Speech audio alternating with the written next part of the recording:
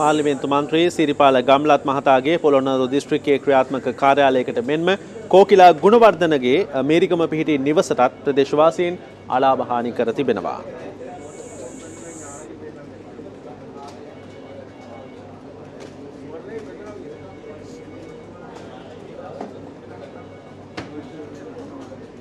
දැන් ඉතින් Seylan 24/7 smart banking එක බැංකු නොයා බැංකු යන්න. පාර්ලිමේන්තු මන්ත්‍රී විදුර වික්‍රමනායක මහතාගේ නිවසට කර ඇති අලාභහානියයි මේ.